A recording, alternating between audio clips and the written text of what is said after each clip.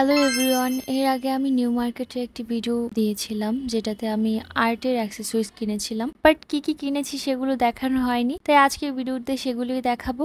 তো প্রথমেই ছিল একটি পেন্টিং প্যালেট আর এটা ছিল কাচের, ছিল একটি স্ট্যান্সেল এবং এখানে আরেকটি প্যালেট ছিল, যেটা ছিল প্লাস্টিকের যার কোয়ালিটি খুবই ভালো ছিল।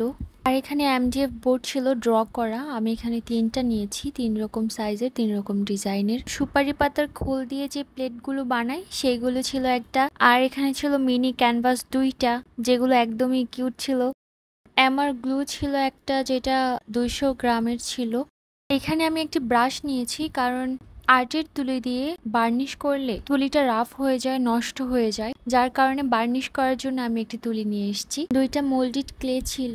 এখানে রং ছিল দুইটা হোয়াইট কালার, একটা ইয়েলো কালার, একটা টিএল কালার, একটা ব্রাউন কালার ছিল। দুইটা মিনি ব্লক প্রিন্ট ছিল, দুইটা গ্লাস ছিল, অনেকগুলো লিপোনেটের জন্য মিরর ছিল। আজ এই পর্যন্ত if you like my tourist video then give me thumbs up thank you so much আল্লাহ হাফেজ